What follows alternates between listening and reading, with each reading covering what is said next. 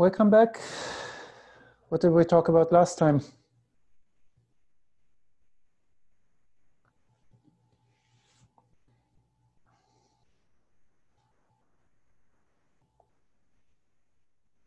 More AI fairness. Anything more specific that you remember?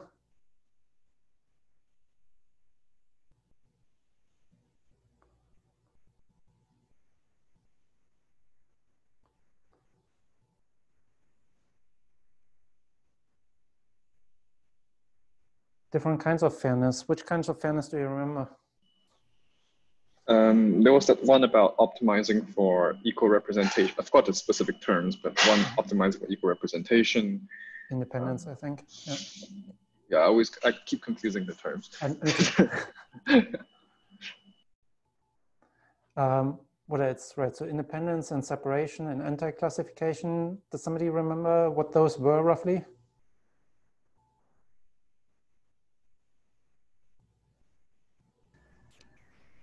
Yeah, uh, so for anti-classification, we were looking at uh, flipping uh, fields such as gender, just to make sure that uh, the gender has not, you know, made an effect in the prediction.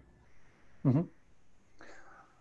Right. Uh, um, that's useful if you want to make sure that two people who are the same except for the protected attribute get the same prediction um, for example, if you want to make sure that gender doesn't affect whether you get credit or not, right? This should be not part of the model. Whereas the other ones actually allow for cases where the protected attribute actually relates to the output, right? And you want equal representation or you want equal quality of the predictor. For example, separation is the equal number of false positives and false negatives as Vivek writes right? We talked a little bit about good practices for achieving fairness, um, some of which are closer to the model in measuring fairness, right? So we talked about some of them, but also that a lot of this, yeah, as Chris writes, is system properties, and we need to kind of think about this through, throughout the life cycle. Uh, there's a lot of this that you can do early by thinking about the right requirements, setting up the right processes, thinking about this in data collection and so on. All right, Today I want to move on and talk about interpretability and explainability. These are also extremely highly researched topics. There's a huge amount of work in the machine learning community. Um, it kind of bleeds a little bit into fairness as well, um, as you see. And I'm just going to give you an overview. I suspect we won't get through this today. Uh, I essentially summarized um, this book here, Interpretable Machine Learning, uh, in this lecture. I didn't want to assign it because it's kind of long, but I want to give you an overview of a large number of different techniques um, because I think they will actually be extremely useful if you're building any system of any sorts, at least as a debugging technique. So let me just start by a few kind of motivating examples. Um, actually, yeah, let me start by a few examples. So this is a project that I was involved in a couple of years ago where we wanted to do some sort of anomaly detection on GitHub commits. So the purpose wasn't really security, it was more people are overwhelmed with notifications on GitHub. There's just so much, especially if they watch somebody else's repository to learn. We wanted to see, can we identify commits that are different, that are maybe worth your attention that you want to look at. Right, so in a sense, this is kind of anomaly detection, and there's a lot of different anomaly detection approaches.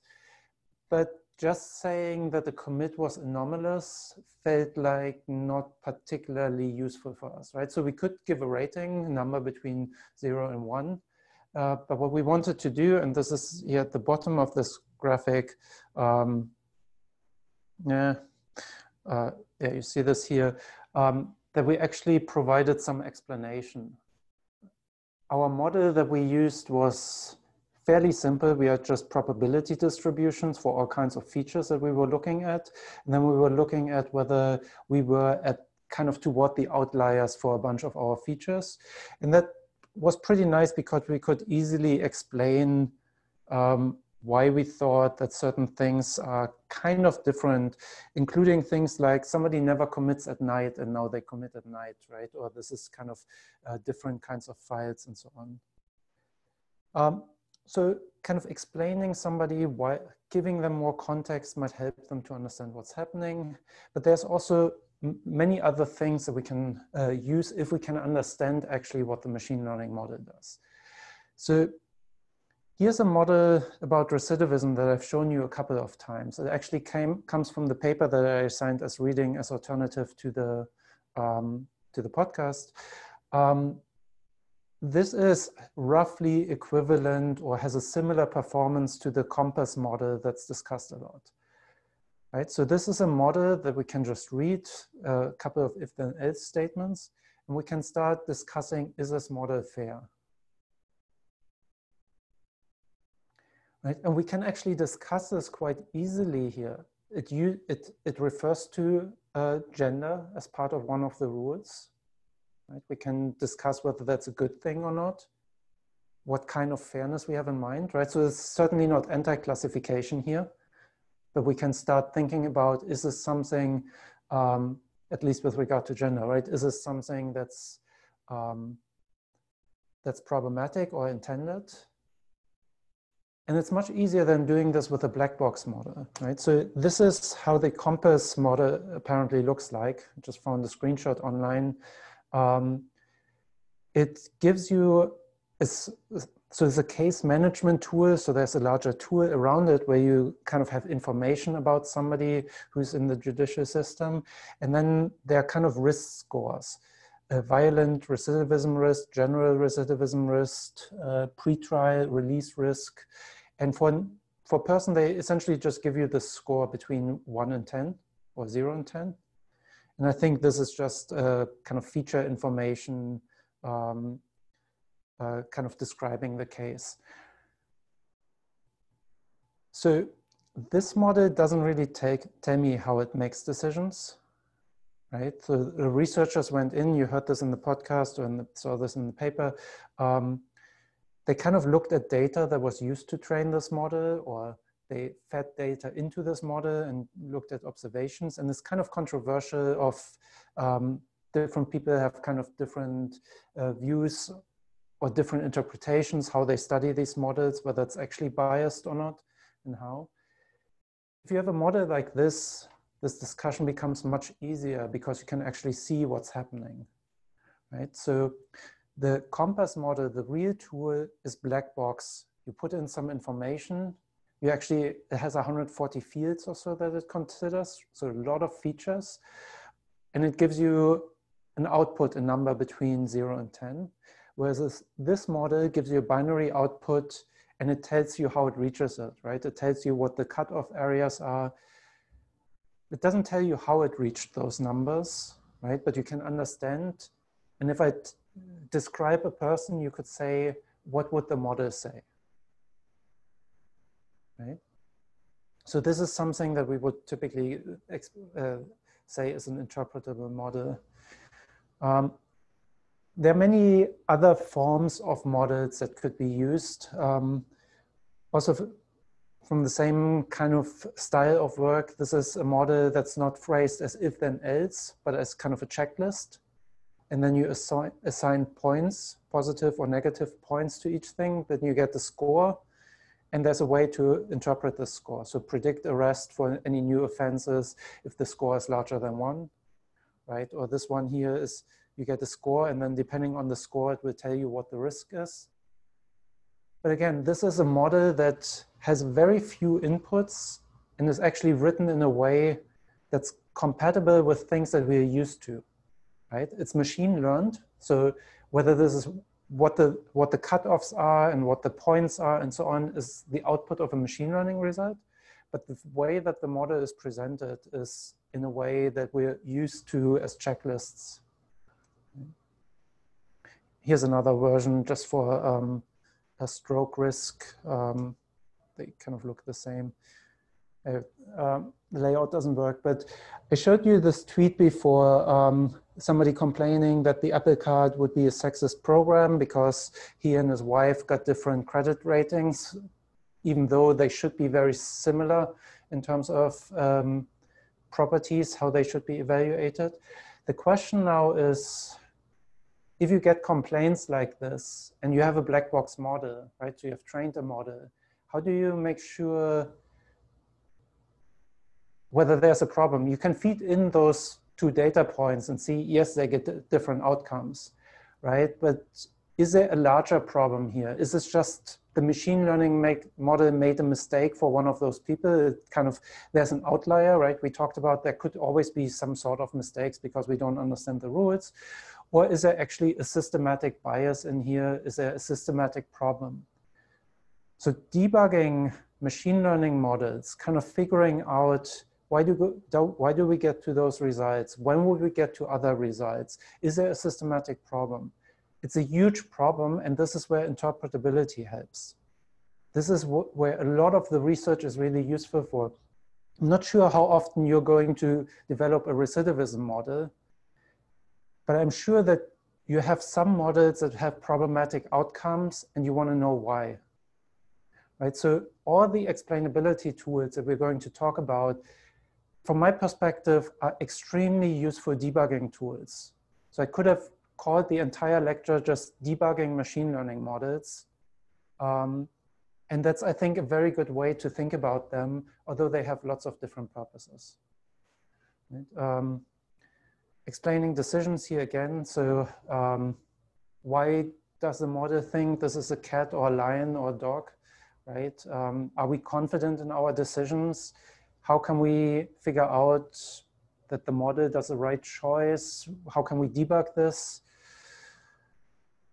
And then we talked about certain forms of models, especially deep neural networks, but also many other forms of models, where if we just look at parameters or at the model structure, I think we have essentially no way of figuring out what's going on.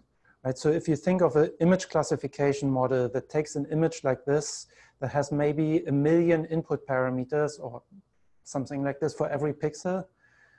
And then you have a couple of thousand of these neurons or more, right, across multiple layers. Each of those neurons corresponds to, or each of these edges, not neurons, corresponds to one float number. Now we have these big matrices, but we have no idea what's happening. And so there's a lot of effort, lots of people are trying to understand at a more abstract level what, what happens in deep neural networks, what are the structures that we're learning. But I think we're at the very early stage. We have, most of the time, we have no idea, right? Um, so most of the time, any model that uses deep learning is essentially a black box. So we, we can see what, it, what the output is, but we can't really understand why for the most part. Uh, let me skip this. Um, and again, this is this isn't necessarily new. Um, eh, this is a this is a flowchart. Do I have? Okay. Um, this is how Slack notifications work. This is not machine learning. Um, come on. Um, it's just the question, should we send a notification in Slack?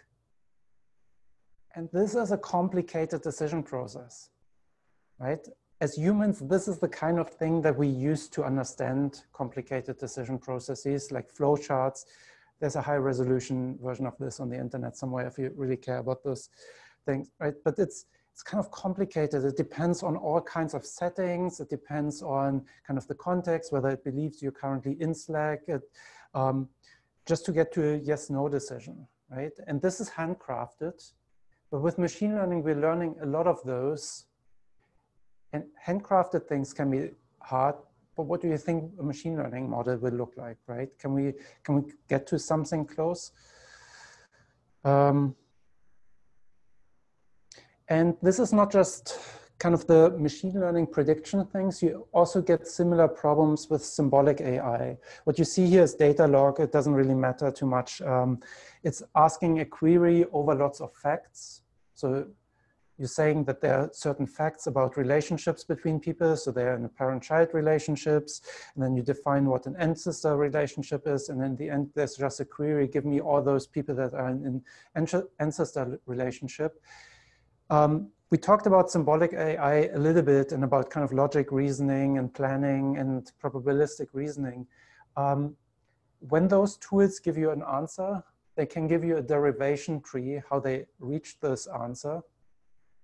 But it doesn't necessarily mean that it's easy to follow. There can be lots of rules. This can be used on a large fact basis, right? So even in those systems, they are they tend to have clear reasoning rules and they can explain in terms of statistics or logic how they come to an answer. Uh, but understanding this is not necessarily easy. So there's lots of things that we can try to explain. Where do the rules come from? What are the relevant factors? Why these results? Why these rules? Why these cutoffs? Both for machine learning and symbolic AI, we focus on machine learning uh, as most of the time. Um, and we can reason about why we want that. Any questions so far?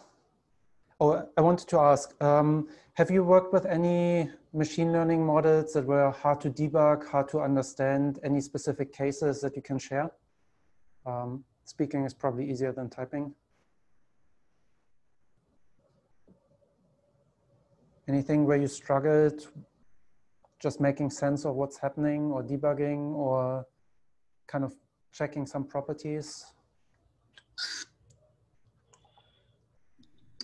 Um, so we are a little bit struggling currently within our studio uh, with the machine learning models. Um, although we are using Amazon Rekognition to classify images for us, but uh, sometimes it uh, identifies uh, like out of the box hazards and we are just keep guessing, oh, maybe this is because of like this. So we are just playing the guessing game over there. And currently we are just totally dependent on the fact that, oh, okay, maybe providing more data will solve this issue, but we really don't know if it is going to help or not. Mm -hmm. And it just misclassifies things sometimes and you don't know why? Yeah, it, it misclassifies uh, essentially. Uh, we are solving a bounding box problem essentially, mm -hmm. and uh, it, it draws boxes at uh, at places where we know that uh, essentially we are trying to find out uh, if there uh, if there are hazards on the sidewalks or not. Yeah. And uh, it at some places we we can see oh that's a big hazard, but it will not find that area. But there is a small black mark somewhere on the sidewalk, and it will identify that. So. And I suspect most of the time it kind of works, but it often makes mistakes. Yes, uh, most of the times it works. Like uh, it uh, identifies for most cases, but some of the cases it's, it's just like a black box essentially. Mm-hmm. So we really don't know what's happening yeah. within it. Does anybody else have anything they want to share? Um, yeah, so uh, the SEI and Link Group, we're using a genetic algorithm to um, recommend system level refactorings. And so, um, so it's not necessarily machine learning, but um, it's still, you know, at this scale, um, when you have like a large code base, for example, uh, and you have uh, a large number of solutions, uh, it can be hard to figure out, you know, how how did the algorithm actually get to those solutions, yep. and how did the fitness functions interact. Um, so, I think at scale, that type of algorithm is sometimes hard to debug.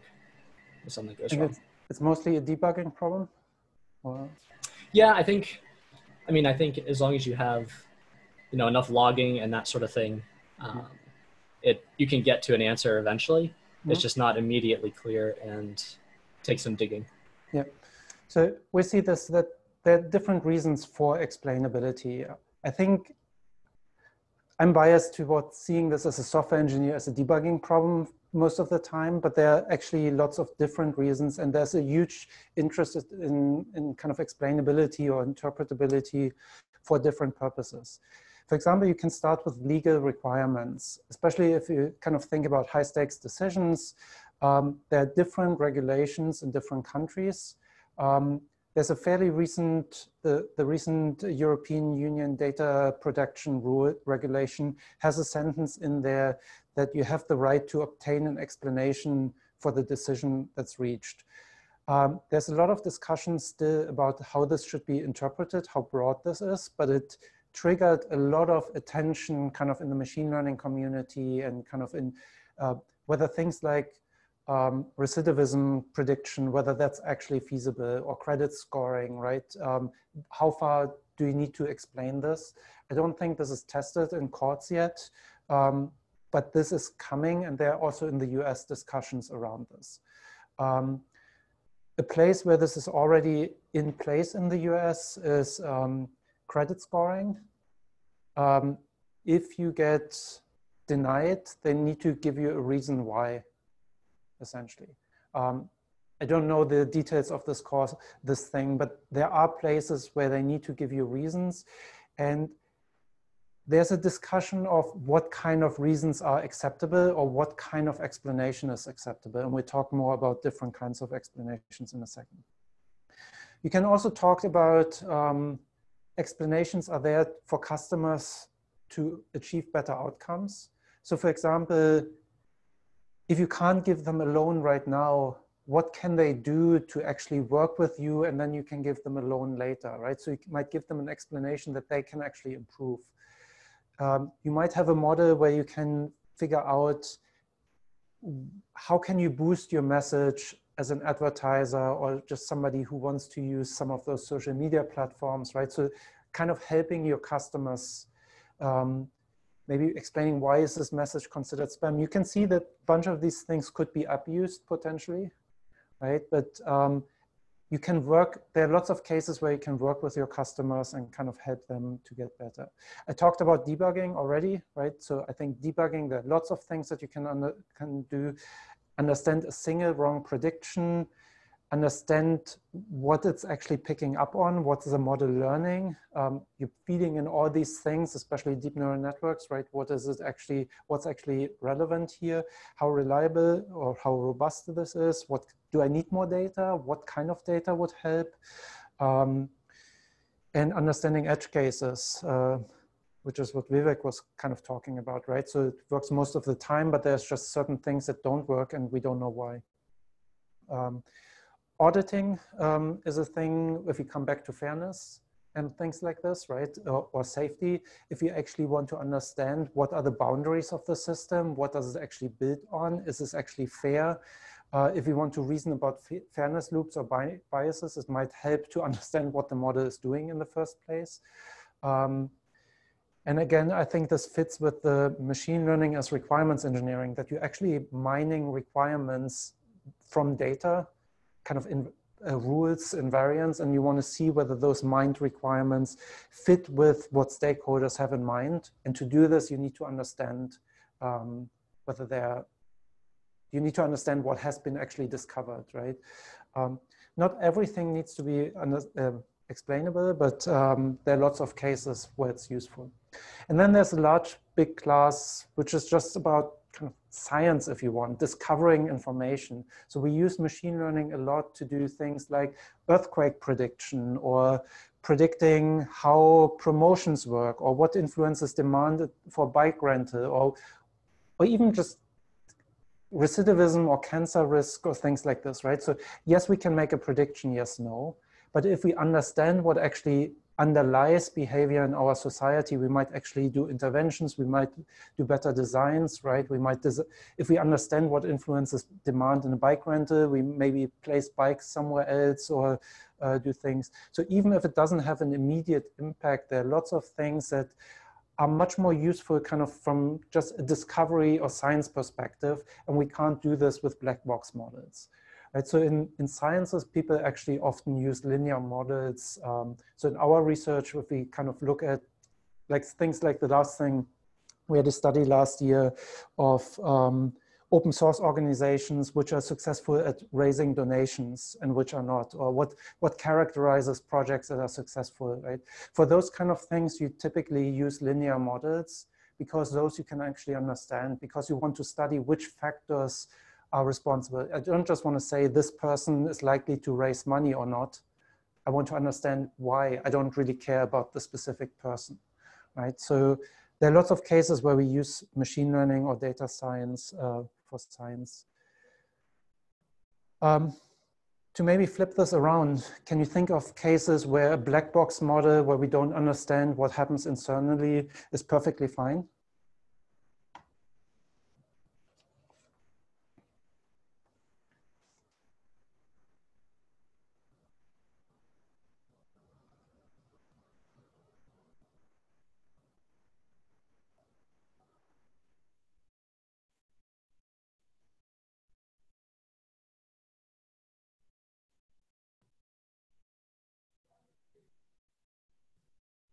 Not everybody at once.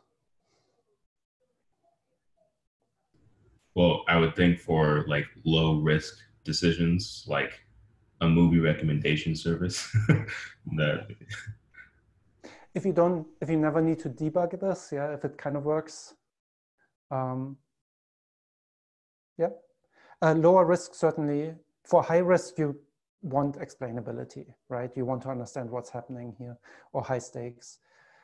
Um, cases where you don't want the model to be gamed. Uh, that's a very good point. We're coming back to this. Um, to some degree, you can argue that this is a security by obscurity argument, right? That you want to protect the internals, that it can't be gamed. Um, but it, there might be there might be cases where this is actually uh, important. Also, uh, in protecting intellectual property or being able to sell a model, right? If it's understandable and easily out there, this is hard. Um, the last example that I have is um, for really well-studied problems like digit recognition, um, handwriting recognition, it may not be that important because it already works. Um, if you just get something similar, as long as it works. And then just models that don't really have an impact at all. So for example, why you're just figuring out um, whether you can even build a model at all for a problem, right? Where you're exploring things. Is it even feasible to do uh, audio to text translation or translate languages or something like this? Maybe interpretability doesn't matter in the early stages. Um, if you just see, if you're just exploring, if you uh, if you see whether it's feasible, but you might want to revisit this um, before um, before deployment potentially. Um, all right.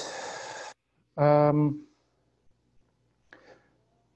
so let's think a little bit about what makes things interpretable or explainable. Um, this is kind of hard to define or there, it's not like fairness where there are a couple of formal definitions that you can measure. There's no mathematical definition that I know of of interpretability or explainability. Um, typically, interpretability is the degree to which a human can understand the cause of a decision or the degree with which a human can consistently predict the model's result.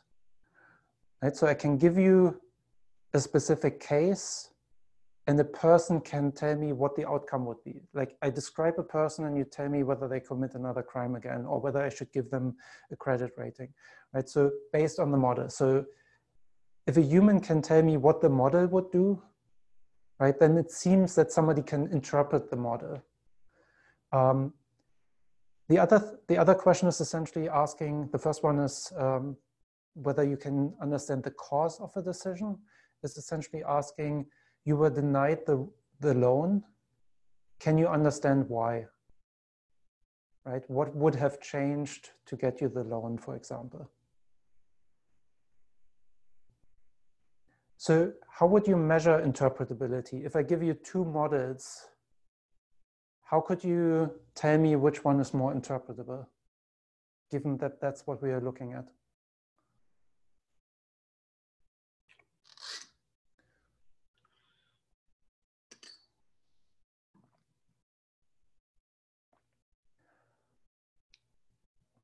I think it will be hard to come up with a metric that you can measure without human involvement. So I suspect we need some sort of experiment. Anything you have in mind that we could do? Could you just see how many, how accurate a human is at estimating that uh, outcome of both models given some set of input? Yeah. So there's one approach that's sometimes used in papers. You give somebody a model and you ask them for make predictions for these 20 people, right? And see how many the humans get. Not the humans get the prediction right, but the humans get the same prediction that the model would do, right? It could also be the human has no idea. Um, you can also ask in an experiment, here's a decision, um, somebody got rejected alone. Um, why is that? What could they have done differently, right? What could have been changed? So you're essentially running some sort of experiments where you give them explanations. I have this here. Um, uh, this one. Um, you can do this at different levels and with different degrees of realism. Um, ideally, you have experts and compare this to experts. So the last one here, would, it, would a radiologist explain a cancer diagnosis on a scan in a similar way to what the machine does, right? So you're comparing with experts. You can also ask crowd workers. So which loan application do they prefer or which kind of hiring decision would they make um, and see whether that corresponds to the model or whether they understand it. Um, and you can use some very simple proxy metrics uh, that's sometimes used, um, like how many decision points are in the model. Like if you have a decision tree, uh, small decision trees are tend to be easy to understand. Big ones are hard, so you can just count the number of decisions. That wouldn't require experiments, but it's also a somewhat weak proxy, right? Uh, we'll see some of those in a second. Um, we can talk about interpretability or explainability of a model that's kind of understanding the model in general, or we can talk about a single explanation, which is understanding a single prediction. So your loan application has de declined. If your saving account had more than $100, your loan application would have been accepted, right? So this is kind of pointing at a reason for a decision, right? There's a single explanation. And explanations tend to answer why questions. So why was it rejected, kind of for justification? Or why did it not work? Why did it not detect the, uh, the obstacle on the pavement, right? Um, that's debugging, uh, for example, or kind of general data science. Why is turnover higher among women in our organization, right? So it's always why questions. We want to find explanations that we can understand. So um, there are two ways, and we'll talk about both uh, of interpretability, um, or the way this was actually discussed, I think, um, both in the podcast and the reading is um, Cynthia Rudin makes a difference between interpretability and explan explanations, right? So a model can be inherently or intrinsically interpretable, which means the model itself is so easy that I can under, or so simple that I can understand the model. So this scoring card here is a model, but I can, as a human, I can understand the five conditions that go into this. I can understand that there are five scores. I need to add them up and I can read this. Right, so this is something that I could give to somebody and I'm pretty sure a human would come up with the same predictions for this model an alternative approach, and there's a, this is where most of the research is, is explaining black box models. Um, so you, you're given a black box model and it does something and you don't really know what's happening inside. It might be a deep neural network, but you're trying to come up with an explanation to understand what's happening there or why, right? So this explanation here, your loan application has been declined but this other one would have been accepted, can be done potentially on all kinds of models. Right, so you can just find a counter example where this would have been accepted and, and generate an explanation. So this is, I think, a very important distinction here. And in terms of terminology, this is all over the place. I don't think that people use a uh, generally a, distinguish between interpretability and explainability. I've also seen them flipped. Um, but what I'm trying to do here is uh, follow with the reading that I call a model interpretable if I can read the model, if it's inherently or intrinsically interpretable, and everything else are ex post or post hoc um, explanations. right? So an explanation can be done for every kind of model, but it's particularly needed for black box models. But again, this is, this is not consistent um, as far as I know in, in the literature. And I've talked to a bunch of people who do research in this field. Uh, they don't agree on a distinction between interpretability and explainability. So um, maybe I can ask you about this. What makes a good explanation? So we can come up with a lot of different explanations like these here. What makes an explanation good?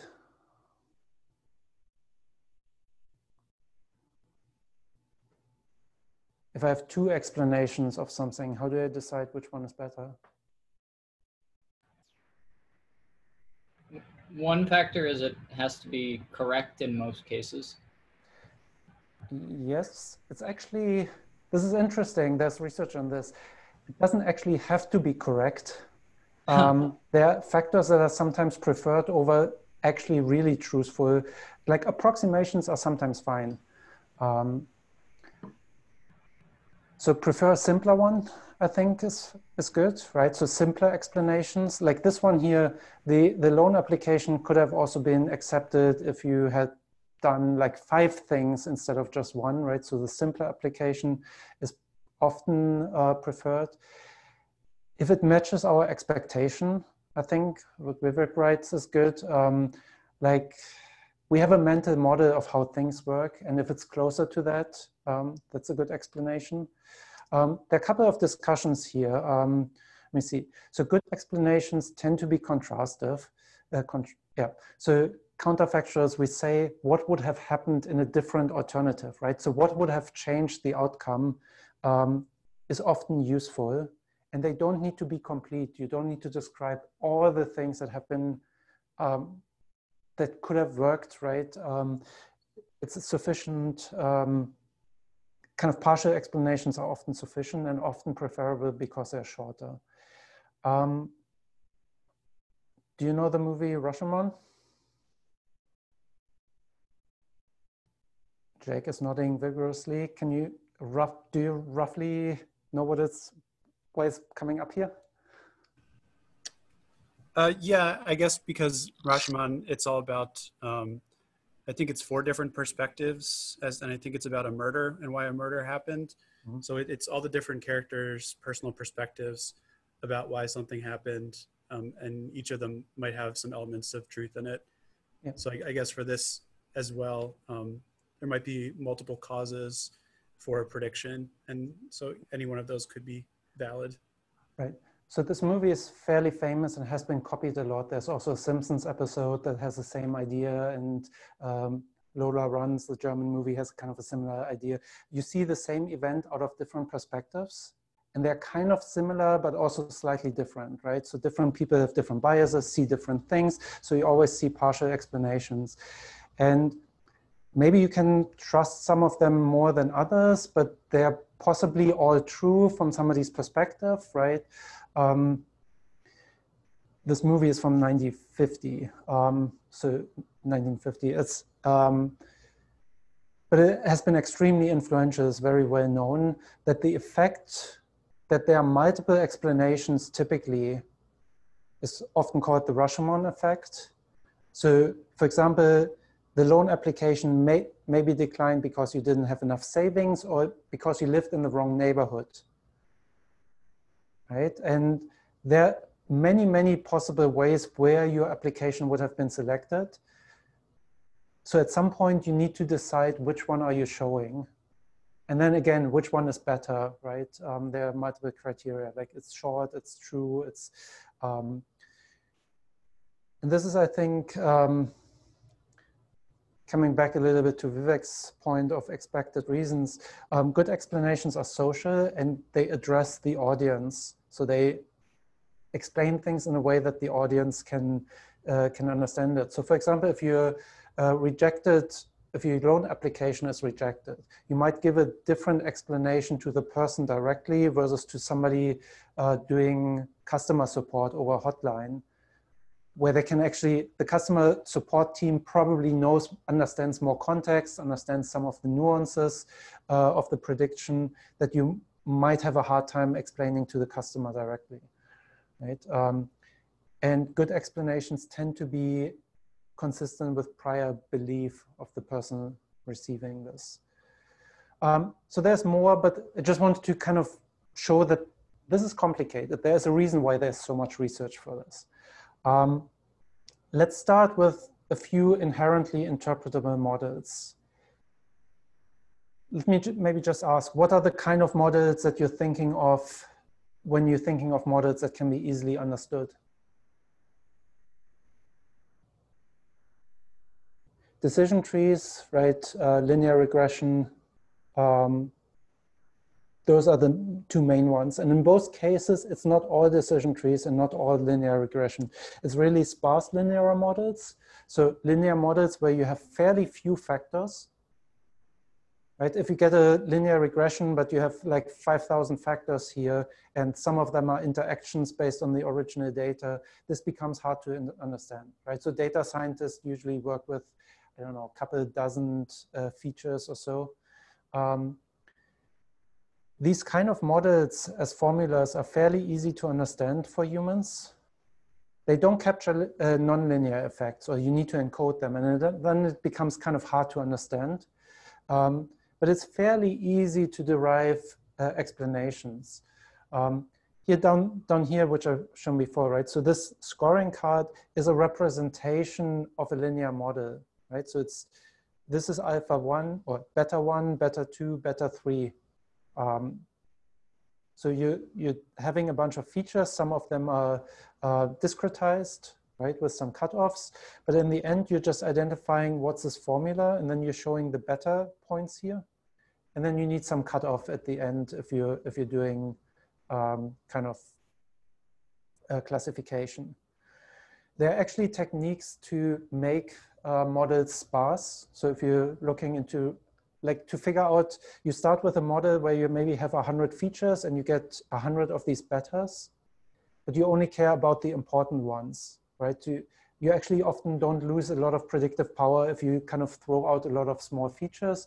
There are techniques like lasso is a well-known one um, to, the larger field is called feature selection, kind of figure out which of those columns, which of those features are important and build models only with a small necessary set. Regularization is another word that's often used kind of to build models that only use the features that they need, kind of to minimize the features. There are a couple of learning techniques that are essentially balancing a loss function with, um, with a cost function. So the more features you're, you're learning, the higher the penalty. So you kind of only add a feature if you get some benefit in terms of better predictions. I don't, essentially with all of these, I don't want to go into the details here, but just give you a rough idea of what's out there.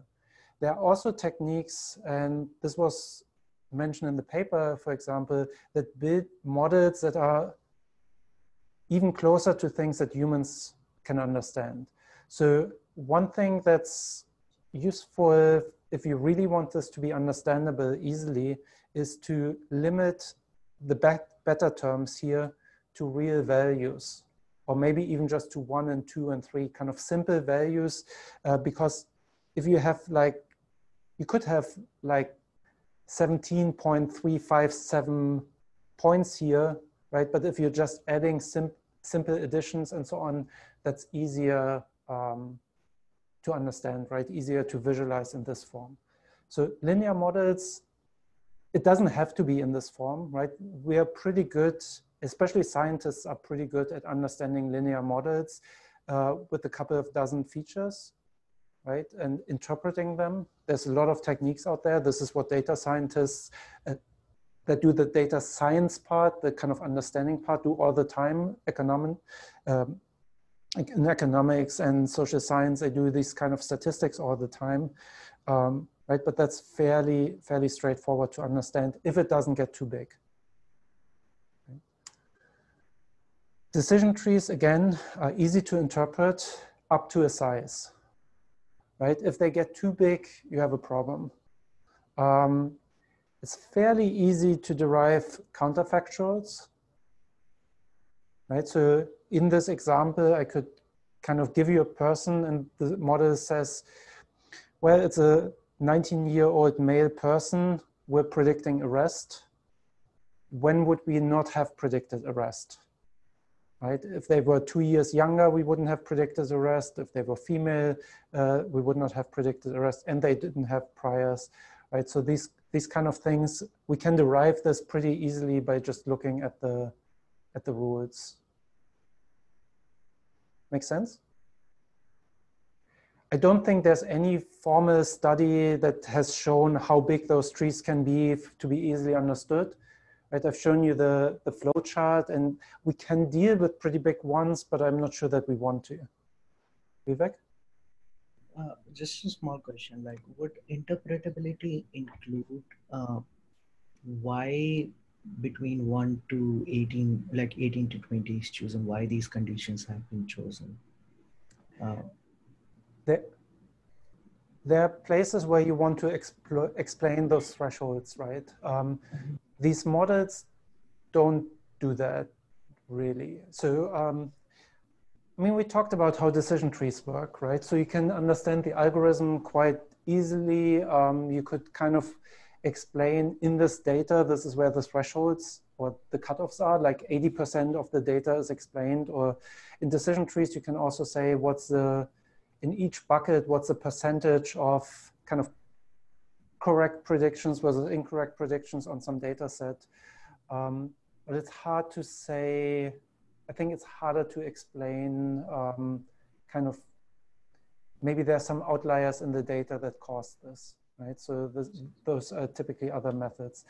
For linear models, again, there's, there's lots of techniques that make this more efficient and the the math behind them and how you derive them is very well understood and studied. Um, but just by looking at a model, you don't know why this model is a, the right model. Yes. Um, so like, is, is that also a, like a purview of the research that that's happening in interpretability to even yes. explain why these things are? And I show you some examples later. I suspect we won't get there today, but they're, they're um, usually not the specific cutoffs, but kind of figuring out what data is influential or what data is more or less influential. Yeah. Okay. Um, there are a couple others. Um, decision rules tend to be fairly easy to understand. Um, we talked briefly about this in decision rule mining, um, uh, kind of this idea, you look at shopping carts for many people and you discovered um, rules like diapers and beers are often called, uh, bought together with milk or something like this, right? So um, the, the podcast talked about this technique a little bit as well. Um, so those kind of decision rules don't necessarily explain all outcomes, but they explain partial outcomes. And um, those are easy for humans to understand as long as you don't have too many of them, right? So you can just if a decision has been made, you can just point to this rule. Um, and you can even point out where this rule has been coming from because it is kind of common in the data and is representative. And the last technique that's also fairly easy to explain is k-nearest neighbor. We also mentioned this before. Um, this is where you don't build a model actually. You just search when you make a prediction, you search in your training data, what are the nearest data points and give an average prediction of those, right? So for example, you look into past loan applications and look at who's most similar to you and did we give them a loan or not? And then you kind of go with the same strategy. Um, you can there's no global interpretability because you can't understand kind of relationships. There's nothing like this in the model. But if you make a decision, you can show the nearest neighbors, right? You can show these people were similar to you and we gave them a loan in the past, or these pictures are similar to this picture and we detected a pedestrian in the past or something like this, right? Um, there's a bit of research which came up in the reading um, to find models under kind of strong restrictions, um, better learning techniques that build these sparse models with easy constants or that um, build trees.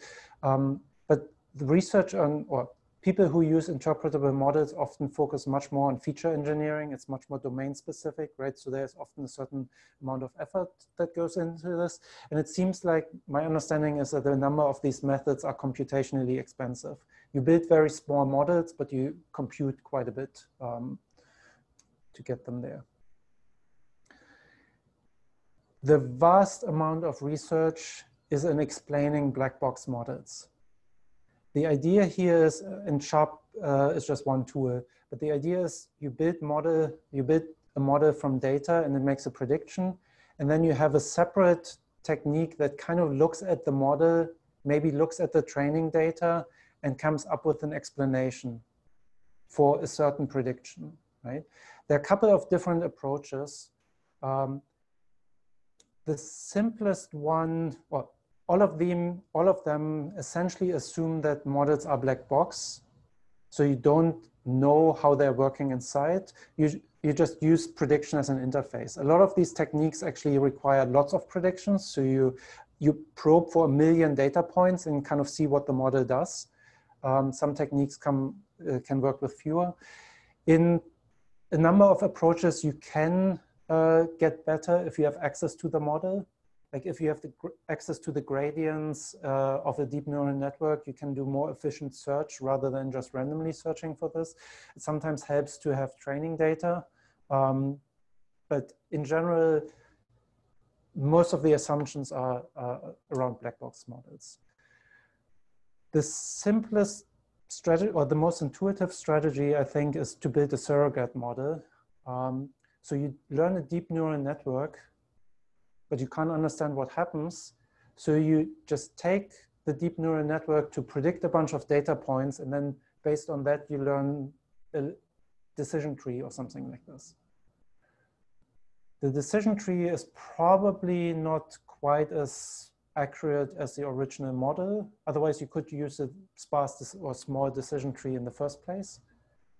I mean, um, the argument from the reading was that often they are comparable, but um, let's assume, so the idea here is just, you have a data set, you train a model F, and then based on the predictions of model F, you just build a new model G, right? And if you use one of those techniques that we talked about uh, for like decision trees, sparse linear models, uh, rule mining for those models, you get something that you can understand, right? It doesn't exactly uh, explain the prediction of the original model, but it probably makes similar predictions. You can actually check how similar they are with kind of statistical measures like R square. Are they making similar predictions? Are they deviating? Things like this. What do you think about this technique? Would you use it? What's, what's good about it? What's bad about it? What are limitations?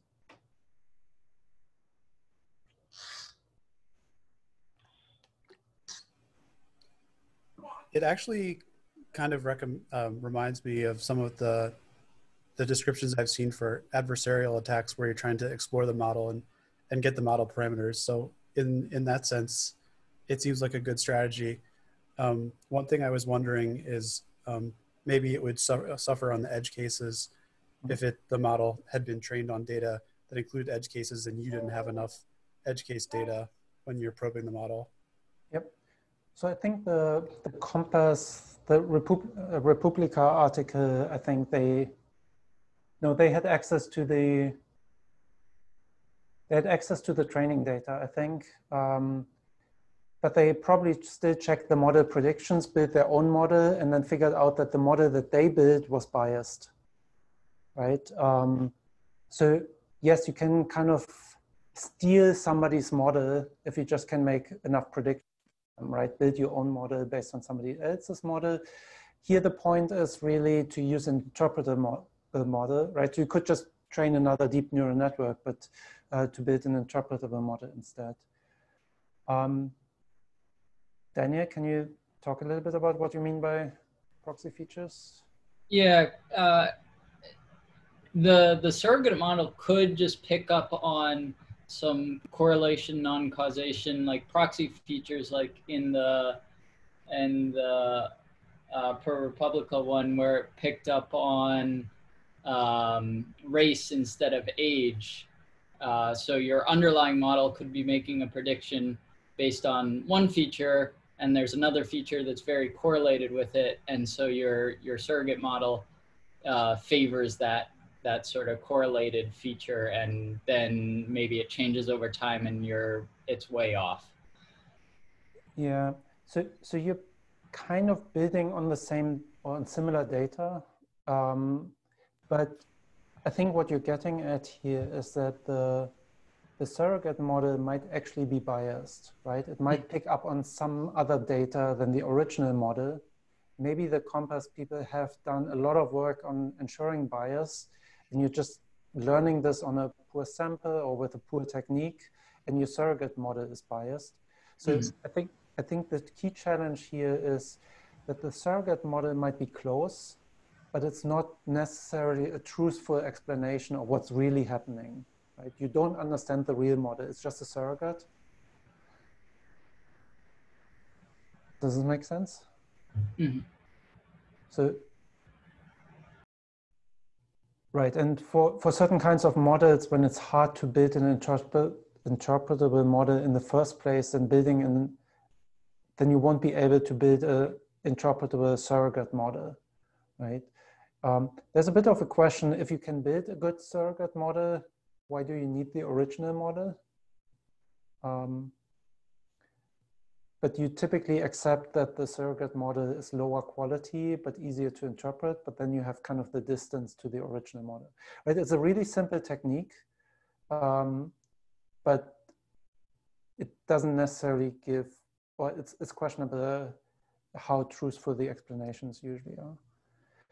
Um, there's a very successful and extremely broadly cited approach for local surrogates. So here the idea is not to explain the entire model, but to explain the neighborhood of a single prediction. I think I can explain this better with, an, with a visual example. So um, here the idea is uh, blue is kind of positive cases and gray are negative cases. And the model, the black box model can distinguish blue from gray. Um, and we could kind of try to identify this shape with a surrogate or something like this, but what we really care about here is a local explanation. We want to know this point here is in the gray zone. This is what the model tells us, but we want to know where is the closest blue zone, for example. What's the closest decision boundary that we care about? So what this technique does, it it samples points in the current space. It particularly samples points in the neighborhood. And then it learns a model that explains the area around this point. So you sample more in the neighborhood or you weigh these samples more in the neighborhood and then you build a relatively simple model. You're not trying to explain the entire area, you're just trying to explain the neighborhood. So this model here on this side is actually showing this the model is a really simple model that just has a horizontal line here. It's, it's, in white, it's a bit hard to see, but it distinguishes all of this part as gray and all of this part as blue. Right? These pluses and minuses are what the other model predicts. Our surrogate model is wrong most of the time, right? So it kind of doesn't detect any of this, but it detects the decision boundary that's close to our single prediction. Does this make sense? So in the neighborhood of the prediction, we can kind of say what was influential for this decision, right? We can say we are this far away from our decision boundary, for example. Um, the prediction here is negative because you were larger than this and smaller than this or something. Yeah. So the idea, again, this is I think what I just described. So create random samples in the area around the data point of interest create a surrogate model learned on the predictions there, uh, where you weigh the nearest or where you weigh the samples by this distance. And then you interpret the surrogate model for that specific point, right? So you're just doing this for one point. You don't get a global representation. Um, this has been used for all kinds of things. Um, seems to be is, is fairly popular as kind of a local debugging tool because it tells you around this point what are the kind of near decision boundaries. So here's an example um, for NLP um, techniques, I don't, I have no idea why they're studying this, but this is something that they do in NLP. They take old uh, news board messages, and in this case, they want to distinguish whether these texts were posted in a board on atheism or on Christianity. I have no idea why this is an interesting research question, right? So there are different discussion boards, they scrape the text and they want to see whether they can fit them back. And they learn a model that picks up on different keywords. And here's an example text and it's classified as uh, atheist. And if you want to know why, this figures out what were the influential features essentially. Um, like in this neighborhood, what were the gradients, what, what pushed the model into this direction, right? Further away from Christianity, further to atheism. And the key influential features here were uh, the part in the surrogate model, what we could see where the highest, um, highest uh, kind of coefficients were is posting, host, and NTP, edu, have, and there. And then they just highlight this here. And what you see is that the model is pretty garbage, right? It picks up on completely the wrong terms. And this is a useful kind of debugging technique, right? It doesn't tell you that the model is generally garbage, right? It just tells you on this specific example here, it makes a prediction and this prediction is kind of based or biased by these terms, right? Does this make sense? This is another example where you interpret every pixel of an image as a feature.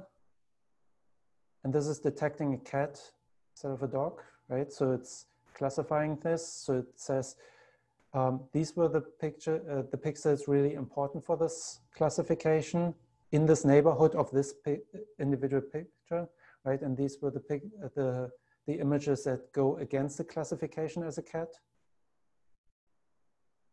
They have lots of cool examples uh, because they do this on uh, not just tabular data, but in text and uh, images.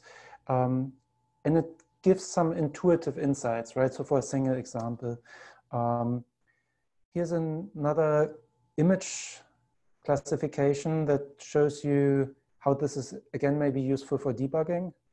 So this is classifying this image as a wolf. And then if you figure out which pixels, like what was green in the previous field, which pixels are actually relevant around this dis discussion, you see that it's mostly detecting snow. Right, and that's why it's classifying. Like there's a part that looks like an animal maybe, but it's um, these are the pixel relevance for this decision as a wolf. I'm not sure that this helps you in any form to fix the model, right? It doesn't tell you why the model thinks those are the re relevant parts, but it explains in some degree what the model is doing, right? It gives you some idea of what pixels were relevant. Um, there's actually a bunch more of these, um, skip this. Um, there's I don't know how exactly the, those work, but there are attention maps and there's a bunch of research on this.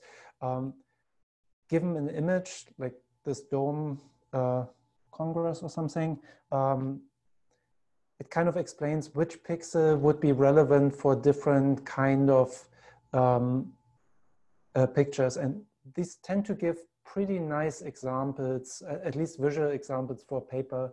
Um, I'm not entirely sure how useful they are in production. Right? So, um, and it also shows what the confidence is and what pixels it picks up on. At least you get some idea as black box what this model might be based on.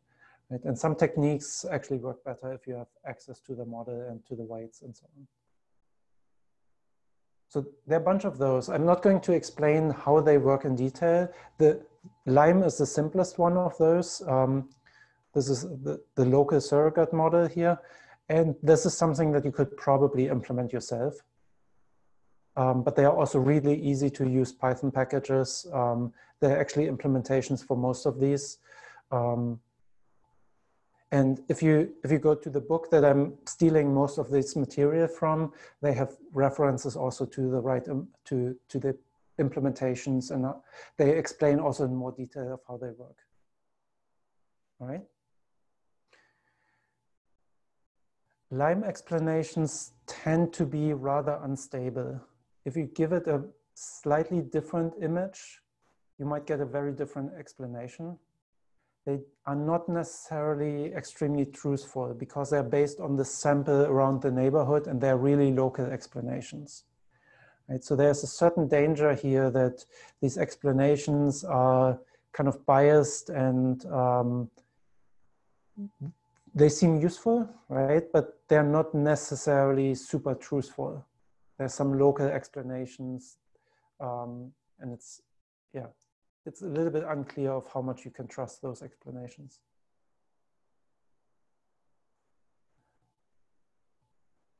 Um, right, so I think this is so useful for debugging. The explanations are short, they are contrastive, they're easy to use, um, they work for lots of different problems. Um, the explanations actually may use different features than the original model. You can learn on higher level features and kind of observe how those um, work or different kind of features. Um, but since they are not actually truthful, they're often not, well, many people consider them not usable in a compliance scenario, right? If you're required by law to give explanations and they may be unstable. Um, it's one of the more common problems. Um, something that you may see, I'm not going to go into detail here, is are Shapley values. Um, they are discussed quite a bit. Uh, they work, uh, from the outside they look fairly similar. They give you local explanations, um, but they have way more math behind them and kind of a game theoretic foundation. They're based on Shapley values invented by Shapley something uh, in the 50s. Um, the idea, this is, every time somebody explains Shapley values, they go into these long examples that come kind of from game theory of how to explain this. And then you get something like the Shapley value is the average marginal contribution of a feature value across all possible coalitions. I'm trying to do this as intuitive as I can. So the idea is that you look at all the features how much they contribute to the result that you're predicting, whether it's positive or negative. But since features can interact, you're not just looking at one feature at a time, but you're looking at combinations of features. So you're essentially trying the predictions without a feature, without this feature, without another feature, and you kind of see what's the influence of each feature or each feature combination on the outcome. So you're essentially trying to make a prediction for this specific data point where you try every possible subset of features for the prediction. Right? So you leave one out, you leave two out, you leave three features out and so on. So if you actually want to compute this precisely, um, you have an exponential number of predictions that you need to make and it's very expensive.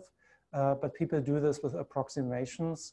Um, the results that you get, uh, I don't have a picture for this, they look fairly similar to Lime values. Um, so you get, you typically see things like this where you see um, for individual features, kind of numbers plus or minus, do they help or do they, do they push you in one direction or the other direction? Um, right, um, there's just way more math behind it. They are probably a bit more stable. Um, where was I? Sorry jumping around too much. Um, and they have a solid theory behind this. Um, there are some people who argue that in a compliance scenario, this is right now the only thing that you probably get approved um, because there's this theory. But again, people only use approximations because it's um, it's too expensive and you get explanations for all features, not just sparse ones. Um, and you don't get any counterfactuals similar to Lime, right? So it doesn't tell you if this was different, then we would have reached the other thing. It's just telling you which features were influential to reach the decision that you're looking at. Any questions so far? Let me go to some much simpler things that are useful, at least for debugging. Partial de dependence plots. Um, something that I only learned about when I, I was looking into, into kind of interpretability for this. Um, they're really simple. They're just essentially plot um, for a data point, or let's do predictions for, let's see how a prediction corresponds with a single feature. So here's a plot of all data points split by temperature. Oh, this one is bike rental in DC. As a data set that's used a lot um, uh, of people renting bikes in DC. And what you see, uh, this is temperature in Celsius, I assume. The higher the temperature, the more people rent bikes on average, right? And then at some temperature, it goes down again.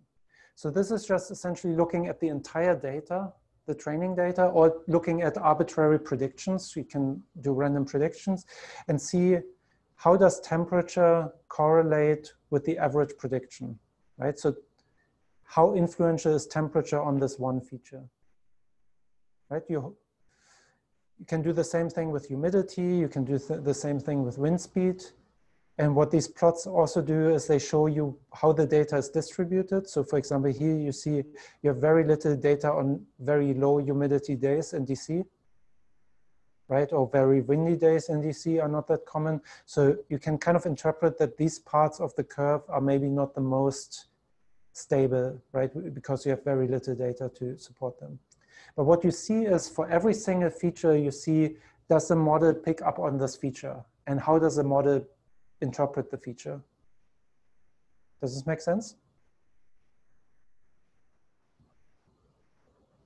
You can also do 2D versions of this. So this is saying, how does the number of pregnancies and age together influence the probability of cancer in some data set? Um, so you see a heat map and you see that this area, like in a certain age range and a certain number of pregnancy, there's an increased risk, or the model predicts an increased risk of, of cancer. Right? So you can just do this by kind of probing the model for its predictions. You can probably also do this on the original data as a data science kind of exploration thing, but this is useful to explain what the model actually picks up on, right? So you just compare a lot of predictions. Um, there's also a version um, that doesn't average everything, but actually shows for different, for all the different data points, how does the prediction change if I change the temperature? right? So the previous thing was hundreds of days or so and then averaged. This one is showing for this specific observation, if I just, if I keep everything the same, but I change the temperature, then I see this kind of trend, or this is what the model predicts, right? So on this day, if the temperature would have been different, I would have gotten this prediction. And you can do this for all kinds of things. And here you can see some nonlinearities. You can see whether the model expects certain interactions.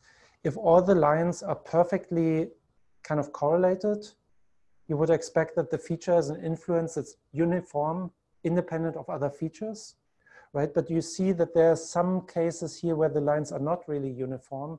So we expect that on certain days, temperature has a different influence than on other days right? So there's at least some other property. Maybe it's humidity, maybe it's wind speed, maybe it's something else um, that interacts with temperature, right? So this plot is quite useful to detect whether interactions exist.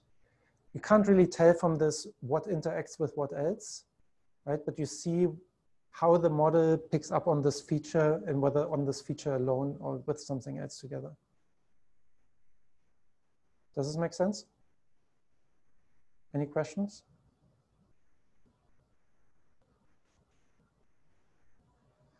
Let me show you one more thing um, that's feature importance. Um, the idea is that you measure the um, accuracy of a model on a fixed set of training data, but you leave out individual features. So um, do you have a picture? Yeah.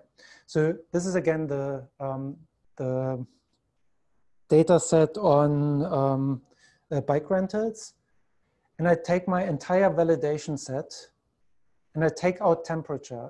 Or instead of taking it out, what you do is you just randomize temperature. So um, you have certain temperature values and you just redistribute them in a random way. So you permutate them. By doing this, you break the relationship between all the rest of the data and temperature. Right? Temperature no longer becomes a feature that's really meaningful. And you see, if I take temperature out this way, how much does my accuracy suffer?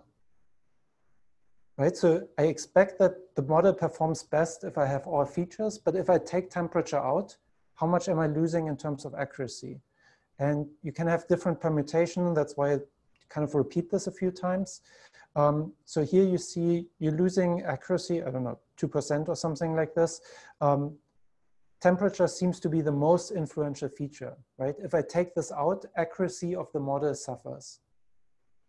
If I take, this is kind of development over time. If I take out how long the system was active, this is also a useful feature. This kind of, I assume the, the bike rental thing got adopted more and more over time, right? Whereas you, you can see whether it's a holiday or not. If I take out that information, that doesn't seem to do much, right? So holidays were not, if I randomize this, this was not a useful prediction. Does this approach make sense? The nice part here is that we can do this without retraining the model, right? We don't need access to the model. We don't need to retrain it. We don't need to build surrogate models.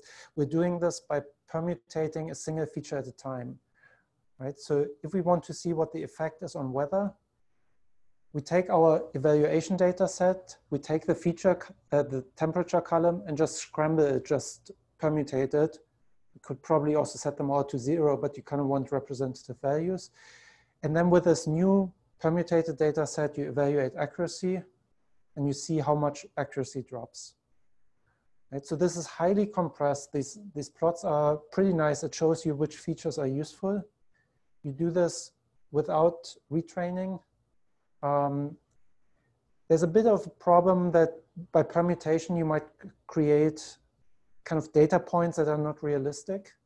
Um, let's say, say you take out temperature and suddenly you get very low temperatures that correlate with humidity on a day that kind of, I don't know, I don't have a good example here, but that's very unlikely, right? So you kind of, but you hope that it doesn't happen too often. Um, and there's a weird discussion around whether you do this on training data or on validation data. There are arguments for doing both, but I don't really want to go into this discussion here. All right. Any questions? Think this is a good time to stop. Um, I have more techniques and we're going to talk more about policy questions next week. But what I wanted to do so far is um, interpretability is useful for all kinds of things, giving people feedback. I think debugging is important, auditing, just doing science, right? Uh, defining and measuring interpretability is hard. Um, we have interpretable models. We don't tend to use them that much. Maybe that's a problem. And then there's lots of techniques to explain them. The ones that I've shown you were surrogates, local and global ones, and dependence plots so far. And I have a few more um, that I'll show you next time. All right. Let me stop the recording and then as usual, I stick around for questions.